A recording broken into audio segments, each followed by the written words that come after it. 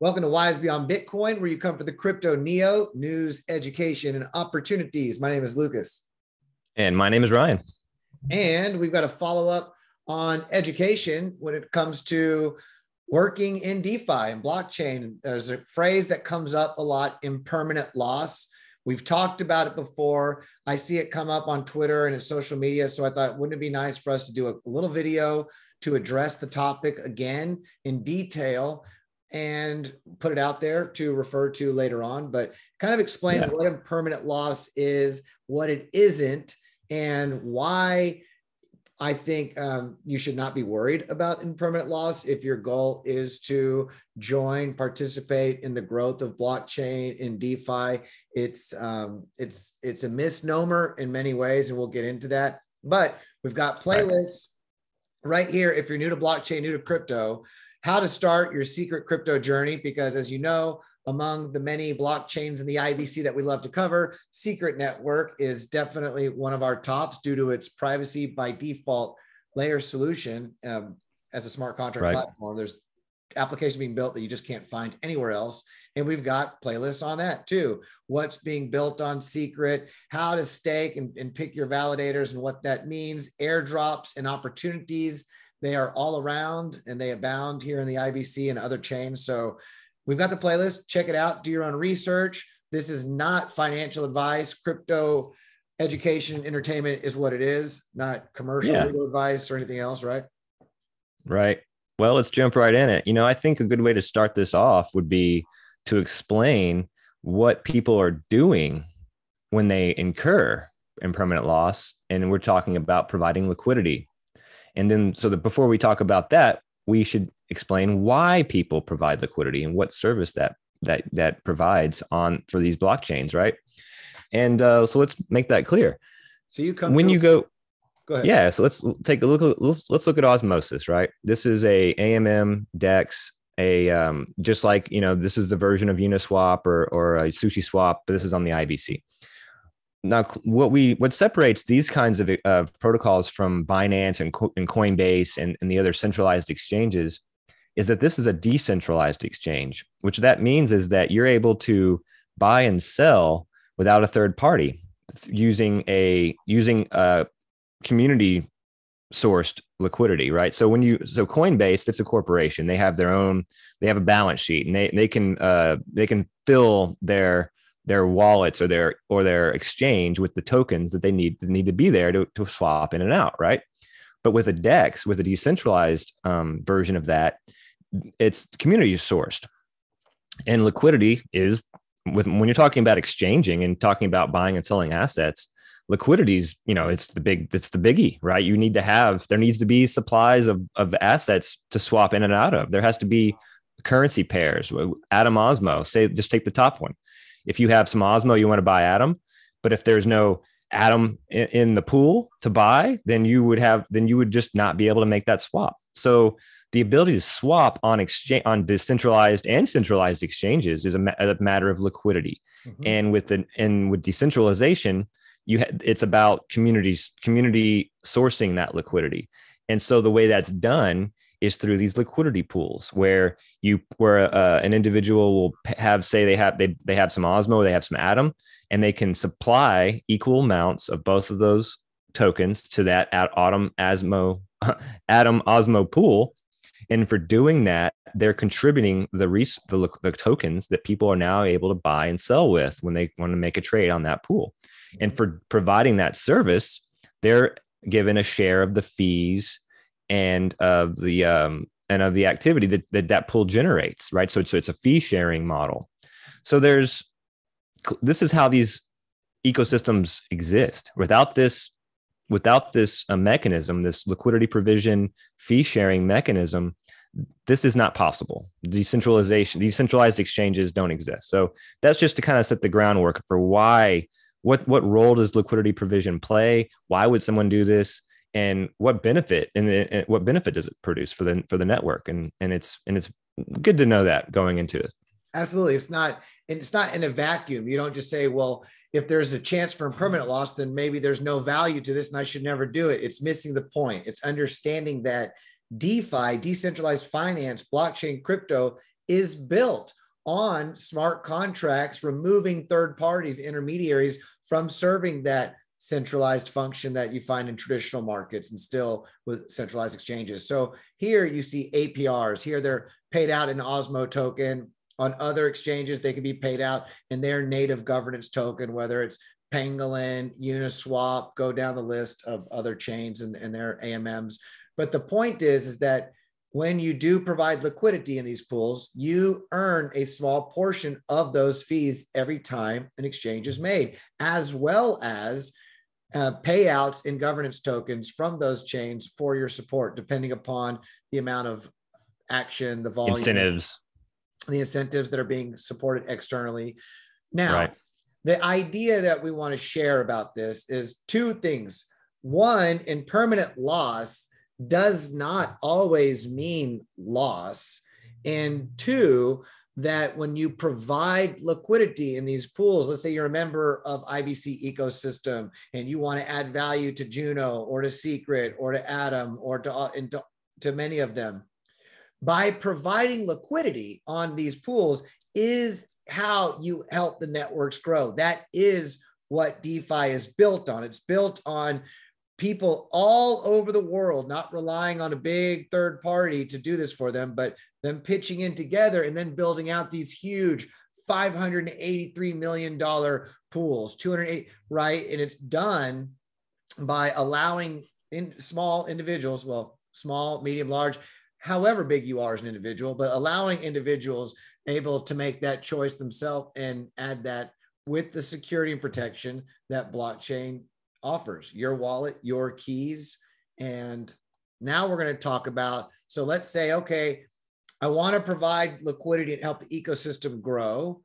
Should I take everything I have and put it into liquidity? Um, you know, this is not financial advice, so really it's up to you. Uh, my opinion is that you diversify and put it in different areas of the ecosystem that have different risk thresholds. Of course, as we talked about in the past, the least risky thing to do with any of these IBC proof of stake tokens is just stake a portion natively directly right. validator, add that level of security to the network, earn your guaranteed inflation rewards through that network and there you go. That's that's about right. as simple as it gets. Now, you would take a portion 25%, 30%, 10%, whatever that is in your risk tolerance threshold that you don't mind watching go up and down more than others. And the idea when you provide liquidity, often for me, is a set it and forget it mentality. The idea is you want to put something in to help that bank of osmosis, bank of Juno swap, bank of Sienna swap, secret swap. You want to allow that to grow over time as more people come in and more people add. You, you create these large liquidity pools that support mass adoption. So when you you mentioned this before the video, impermanent loss doesn't become permanent until you pull your money out of a liquidity pool and you you take profit or take loss. At the end of the day, until then, they're just numbers that fluctuate right. based upon the demand at any given point in time. Exactly. Of one crypto to pull over another, right? Well, why don't we uh, why don't we go check out that that link and and really get into the nuts and bolts of what we're talking about here because it, it's uh it's not too complicated, but it is a little complicated. So it'd be good to get some visuals here. So let's start off with Here's what's happening. HODL. I like the the the HODL. yeah. Provide, provide liquidity. yeah.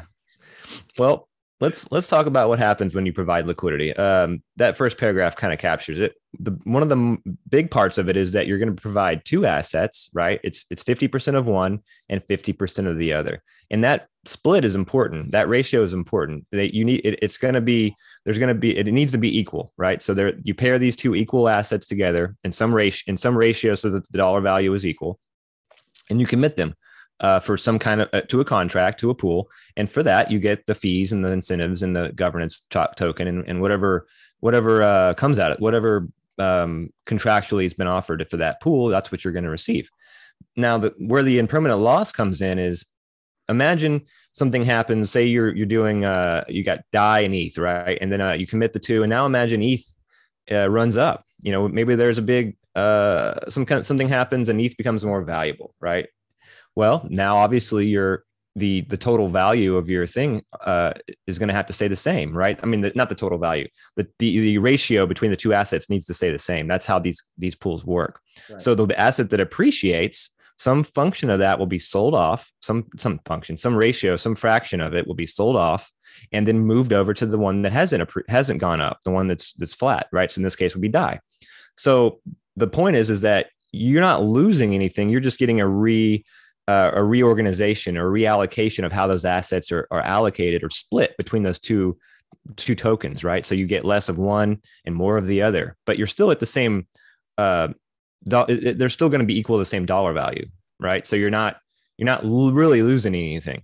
In and then when pools. you yeah. in those two pools, and then but then you got to factor in the gains in terms of incentives and fees and uh, the, the the governance tokens that you may that you may have received. So and then when you when you zoom out you're you're still making money. And the, the but the loss the impermanent loss would be if would be a, sort of an opportunity cost. So you see here clearly that uh, you could have had a, a slightly more do- more money if you had just hold those two separate tokens in your wallet right? In this example. And that's the point is we want to stress from an from an economics background this we find this is a great time to come out and give another explanation as to impermanent loss because it's often spoken about in this zero sum framework when in reality impermanent loss often in crypto is not a loss. You will find in this example that when game. when started they started with $20000 10000 of each. That's how this example starts. And due to the price going up in eth versus dai a lot when they rebalance and keep that portfolio that liquidity position balanced they end up due to the increase in price of Ethereum with a little bit less Ethereum, but they end up with more DAI than before because that's how it works. So they still in this in this scenario went from 20,000 to 20,976. So uh, you're seeing a $23 loss, which is really just an opportunity cost. That's all this is, is saying, oh, if I would have held instead of doing that, right, a different opportunity, right then I would have made this much more. Well, while that may be true, you will see that in both scenarios, someone has done very well and actually didn't lose anything. They actually right. were able to gain. So and if and if I'm reading this properly, I don't think the the uh, fees or the uh, the governance rewards are even included in this. So really, we're just looking at purely what the two tokens change, how the values change. But this is an incomplete picture. Is that when you come over here and there's APRs that you're getting daily payouts in Osmosis token as a right. reward, and you can take that token and go buy more ETH or go buy more yes on that network. Right. And that's the idea that's not being calculated. So the more you yep. participate and there's rewards that come through provide liquidity that often offsets or can actually give you a greater gain than you right. would have otherwise but the other thing we want to mention is this so what so what if you could have made an extra 23 bucks or a little bit more one thing that we would like to stress is that the value of ETH and these projects, they don't go up from everyone just sitting around holding on to their bags. Dude, I'm glad you said that because if we're on the same path. We, I was going to bring up the same point. Go if, ahead. If, everyone said, "Oh, impermanent loss is a risk," so I'm just going to hold on, that's silly. It's like, well, you don't understand what's allowing the value of these ecosystems to grow in the first place, which is right on the concept of DeFi and be your own bank. And the idea is that if you would like to see your Ethereum or your Osmosis or Juno, your smart, if you'd like to see that community, the value of it grow, then you should participate in its growth and its value. So right. it's like maybe you take a little bit of impermanent loss, but you're also by providing that liquidity, you're also allowing for that. You're supporting the network. You're supporting, allowing it to grow in value. Let me say it. Let me say it another way. It's not this this example really doesn't explain why ETH went up in this. It's not. It's just. It's just said. Okay, ETH goes up fifty bucks. Right. But ETH is going up fifty bucks because of the network effects. Inherently, people users are buying into the asset because of what they can do with it. Right. And it's useful. Well, if people weren't contributing liquidity to these pools, that wouldn't be the case. There would be no. There'd be very little demand for that asset. Right. So by contributing liquidity and maybe taking a little impermanent loss risk, you're actually guaranteeing or you're helping to ensure that this ecosystem has future growth, which means that the value of the assets you are holding are going to have go up with the network's growth, right? So it's a it's a bit of a way of I wouldn't I hate to use the term, but you're you're, you're essentially pumping your own bags. Correct. Or when you're providing liquidity. Absolutely. And so that should be that should be included in our discussion.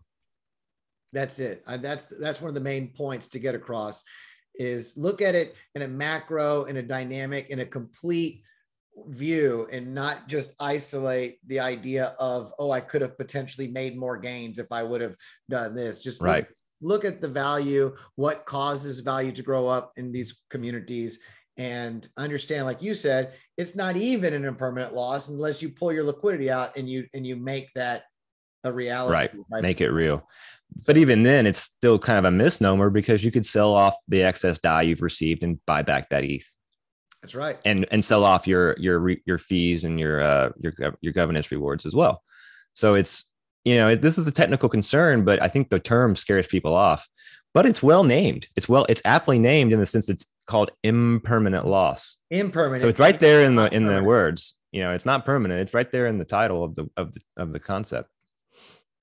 And while I'm just pulling these up because we have a video we just did recently, and you'll see it up on our channel when it comes to airdrops and opportunities. One thing we want to stress is that while you may have impermanent loss, you will often find in blockchain cryptocurrency communities that they love to say thank you to those that help grow the networks. And you will find airdrops and other gifts and often rewards that come from being a part of the growth and providing liquidity and voting and partaking in right. the network. So whether it's osmosis, Juno swap, secret swap, there are more on different shit. This is just a, a, quick IBC overview on some of the larger, more preeminent right swaps. But when you come into those liquidity pools and you provide liquidity and help support the growth, not only do you earn those fees and you earn those rewards, but you also open yourself up to airdrops and other opportunities right. down the line. Yep, that's true. That needs to be said because that would that more than compensates for these for these uh, opportunity costs. So we'll leave these links below to do your own research. And this is by no means a complete list of the AMMs and and the dexes that are out there, but there are more. And if you'd like to know where they are at, you know where to follow and what to check out because we've got it all right here. We'll keep you wise beyond Bitcoin because there's a lot happening in blockchain and crypto more than we can research. So if you know about some projects right. that are some airdrops happening in the IBC, some new chains popping up, or some other stuff going on in the EVM world or other, let us know where we can do some research and break it down and share that with you guys. Until the next time, have a beautiful day. Namaste, y'all. Thank you.